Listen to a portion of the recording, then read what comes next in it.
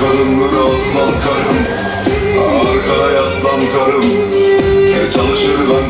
yatarım Kaçanan vururum hapiste yatarım Her şey benim ailem için.